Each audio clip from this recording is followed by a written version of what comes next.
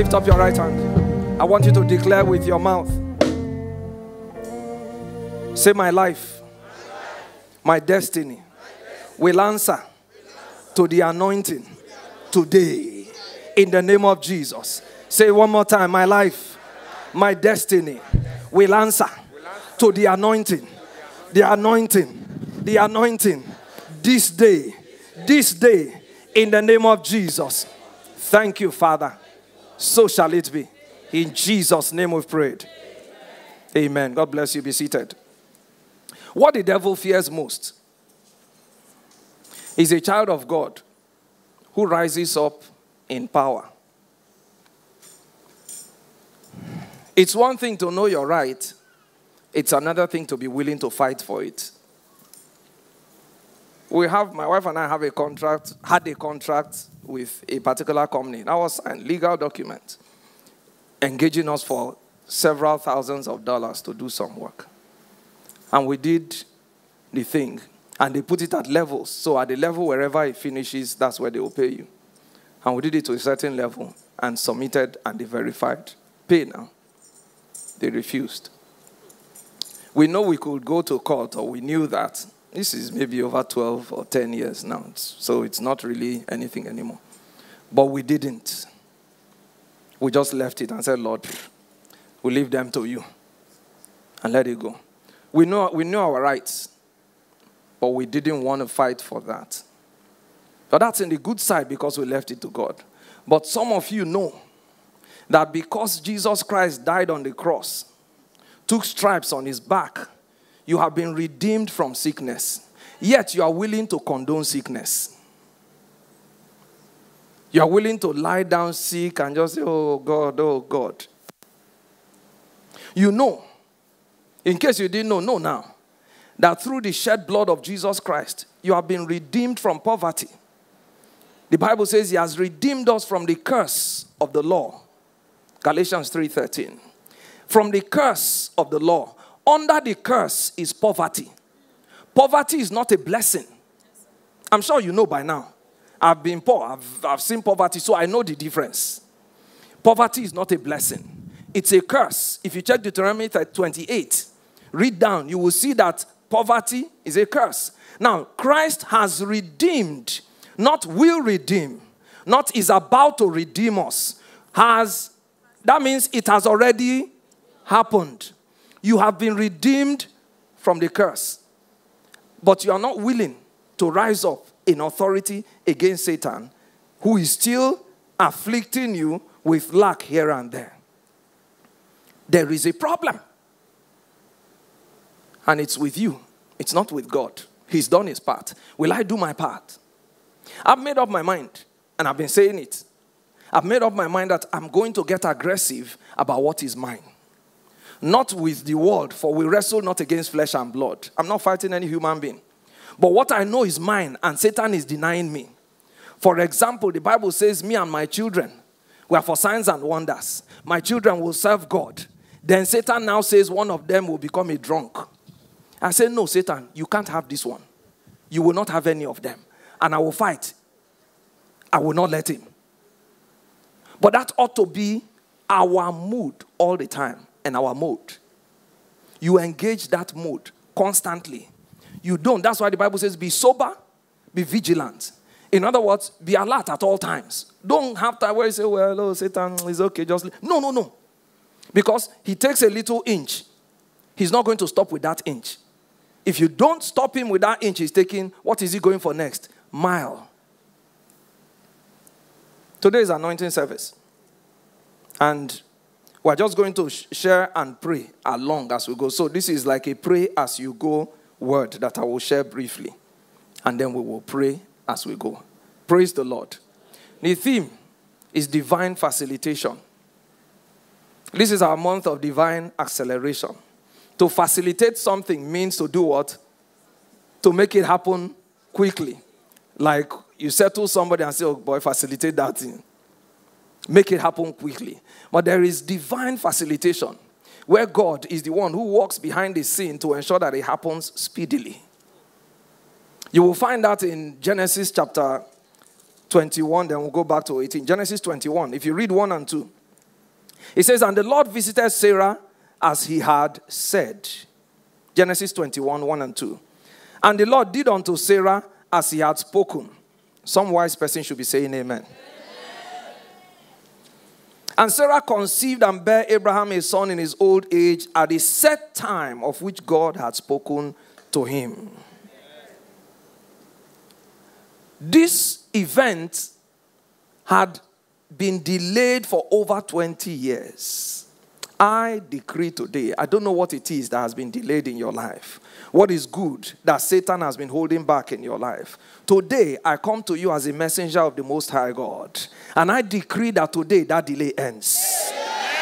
In the name of Jesus. I said, This very day, mark it, that delay ends. In the name of Jesus. And so this thing had been delayed over 20 years. But a day came when there was divine facilitation. And that's where I'm going to in Genesis 18, was where this happened. If you read from verse 1, it says, And the Lord appeared unto him, him being Abraham, in the plains of Mamre. I like the fact that it says in the plains of Mamre. And one day I was just casually reading this, and the Lord began to explain to me, Plains, think about it. And I began to meditate on the plains. And I realized he didn't appear to him at the mountain of Mamre. He didn't appear to him at Mount Zion or Mount whatever name. At the plains, at the ordinary level. And so that gives somebody hope. Because you may be wondering, those who are always talking about mountain, I'm going to the mountain to I'm going to the mountain to do this. The God of the mountain is still the God of the valley. The God that answers you at that mountain is still the God who answers me in my room. So I don't understand the fixation about location. Because God is everywhere. He's omnipresent. If you think he won't answer you in your room, what makes you think he will answer you in the mountain? Then let's go to Mount Everest so that we'll get closer to him. Oh, let's take an aircraft and fly higher. If the height is what makes the difference. But it's not. He appeared to Abraham in the plains. You may be thinking, I don't, I, don't, I hear people who go to mountains, but Lord, I'm always in the house. Maybe that's why God. No, that's not why. It has nothing to do with that. It's okay to go there if you want to separate yourself, but it doesn't mean God will not answer you in the plains of your room, in the plains of your car. Somebody prayed. My wife and I were listening to the testimony of one Sammy Rodriguez. He prayed in his car over the daughter that was about to die in intensive care with COVID. In his car, he said he was driving open roof in California. That he said, God, let heaven invade that room. That was his prayer. Simple enough. He said, it was the same day he received a text message from the daughter. The daughter, I see you. He couldn't go to see her. They had locked it. It was during this COVID crisis. And the doctor said, if she doesn't fight, she's not going to make it. So in the car, let heaven invade that room. The daughter sent a message. And in the text message, she said, Daddy, heaven invaded this room. The daughter did not know the words that the father prayed, but those were the exact words in text message. The next day, he said they called him from the hospital and said, Mr. Rodriguez, the doctor began by saying, I don't know what happened. Oh, there is somebody here this morning. There is somebody here. They had told you it's not going to happen. They had told you it's too late the same mouth will say, I don't know what happened. I don't know what changed.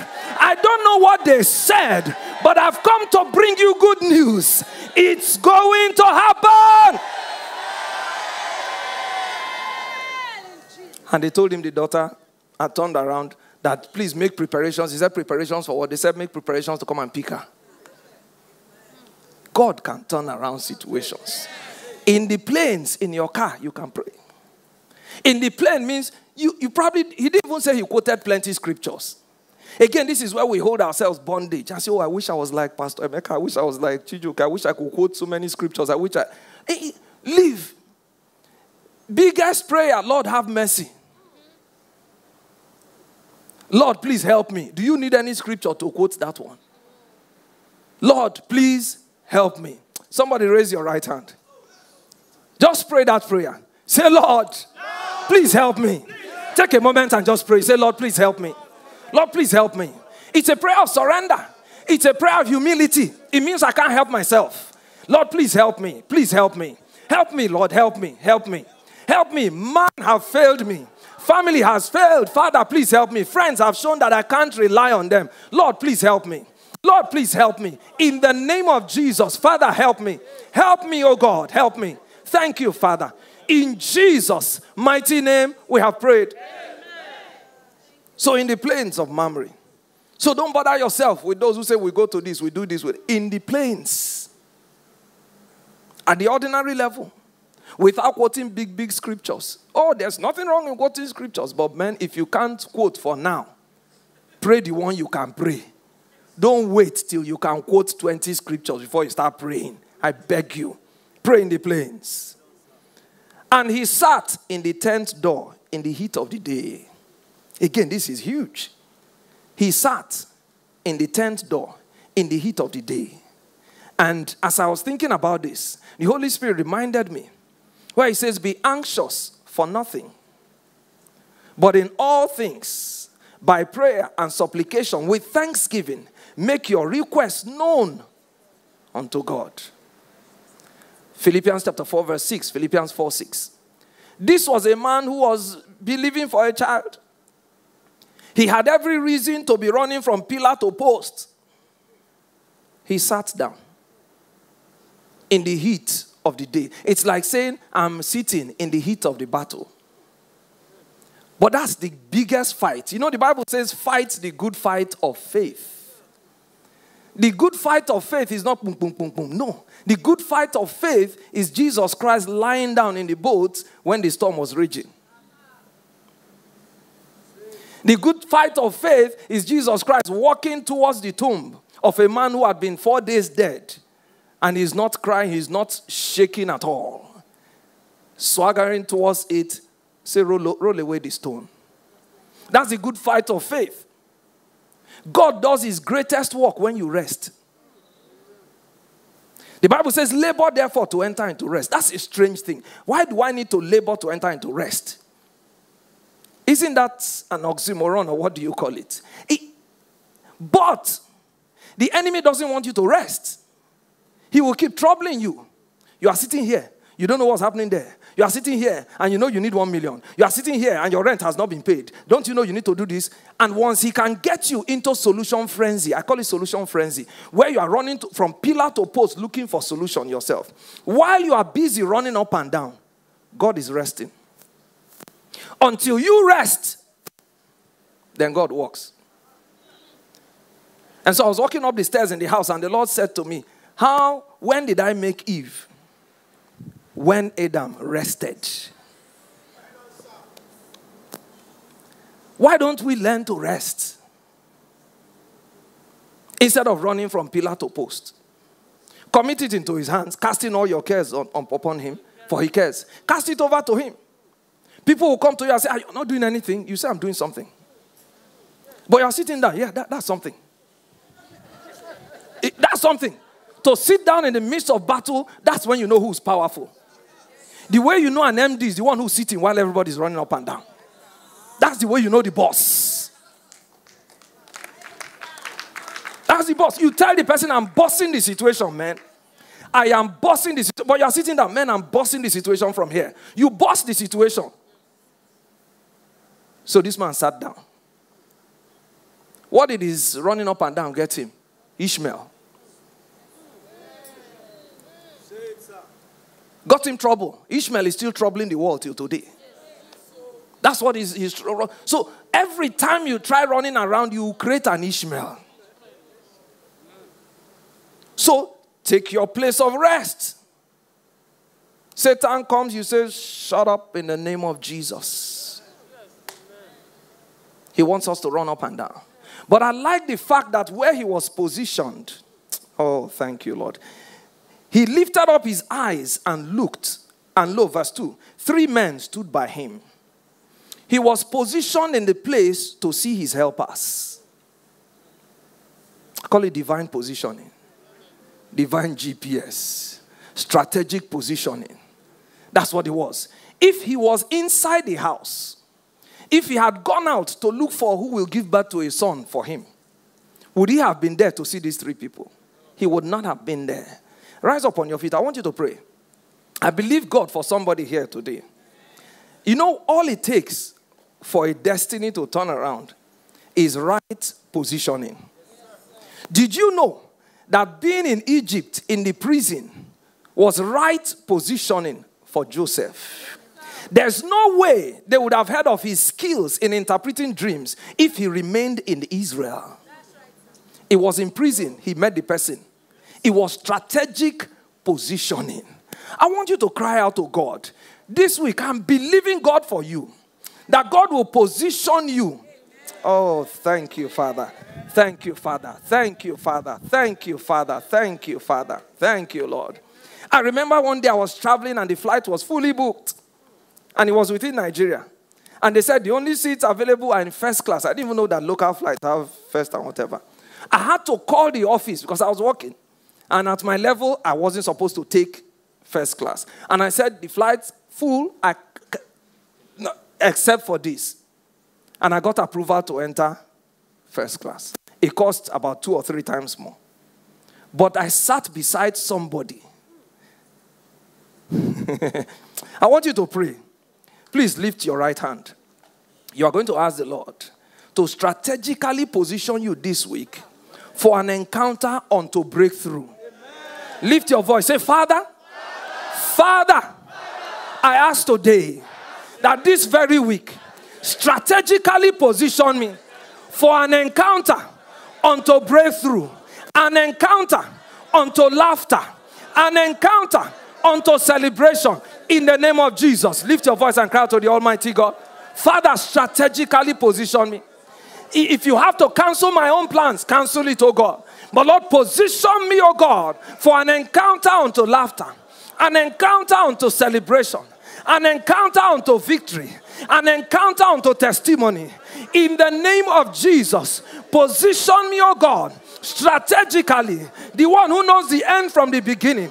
Lord, position me strategically for an encounter unto victory, an encounter unto celebration, an encounter unto laughter in the name of Jesus. In the name of Jesus, an encounter unto open doors, an encounter unto breakthrough in the name of the Lord Jesus. Lord, position me, position me, position me, oh God, with your own hands, for the steps of the just are ordered of the Lord. Order my steps and position me, oh God. Sadaka yende. In the name of Jesus. Thank you, Father. In Jesus' mighty name, we have prayed. Bless you. Please be seated. Strategic positioning. The key to breakthroughs. He was. Esther, strategically positioned in the house of Mordecai where Mordecai was able to hear that there is an opening in the palace. oh Lord, thank you, Father.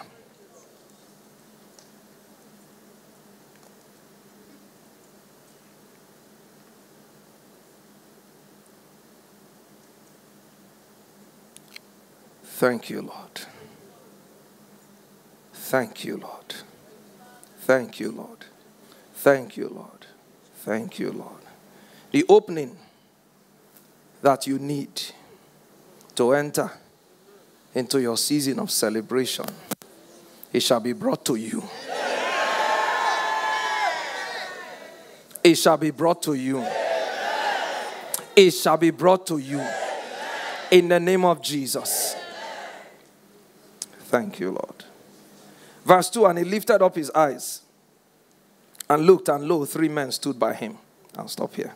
And when he saw them, he ran to meet them from the tent door and bowed himself toward the ground and said, My Lord, if now I have found favor in thy sight, pass not away, I pray thee, from thy servants. And then he began to work, to feed them, to bless them, Imagine if he was so fixated on himself, his problems, he would not be able to attend to these people. And I use this to say that we children of God, were meant to be a community. We were meant to be closely knit. We were meant to be united as one. It was meant that his battle was our battle. It was meant that her battle was our battle. It was meant that your battle was our battle. That way, Satan knows that if he touches one, he's in trouble with all of us. But that's not the case. His battle is his battle. Me, I have my own. Everybody has his own. Please, oh, you're your own. OYO is what we say. But it ought not to be so. Thank God Abraham was not too fixated on himself that he didn't look up and see that, okay, these guys, they look like they are hungry. They look like they've been traveling for quite a while. Let me entertain them. He sacrificed that which he had. Summoned Sarah. And that's another lesson. Sarah, go and cook. Sarah, make this.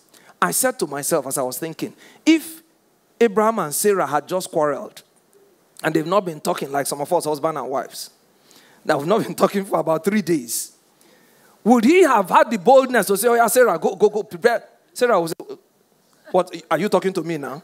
Oh, it has reached this point and you're talking to me. You want me to go and cook? Me, cook in this house. Better tie wrapper and enter Abraham. You will cook that, that food, you will cook it. He wouldn't have had the boldness. But obviously, they were like this. That's why I could say, Sarah, go. There are people here. Help me. And Sarah quickly ran and started preparing. Husbands and wives, ensure, whatever you do, ensure that your quarrels do not last beyond the minute you quarreled. Quarrel and settle it. Quarrel and do what? Oh, will we fight? Oh, yeah. We are from different backgrounds. We are seven in my family. She's like one. She doesn't share towels. I share towel. We almost share toothbrush in the family. So we'll fight. Because she's not used to it. I'm used to it. There, there are differences. But don't go to bed without settling it. Because you have opened the door to the devil. And you shut the door to these three that wanted to visit. Hands up on your feet. I, I, I, want you, I want you to pray. This is your prayer point after you are anointed today. Because it's divine facilitation. That by reason of the anointing, Father, I take possession of that which is mine that has long been delayed. You will cry out to God, and I beg you, once you are anointed, activate it in the place of prayer and cry out to God and say, Father, by reason of your anointing today, don't look at anybody. I lay hold, I take possession of that which is mine that the enemy has long held back from me. It does not matter. This was a delay of 20 something years. In one visit, the Lord pronounced a word and said, uh, By this time next year, did it happen? Yes, it did. Will your own happen? I said, Will your own happen? When? Next year? Oh, next month? Next week? When? According to your faith, so be it unto you. In the name of Jesus.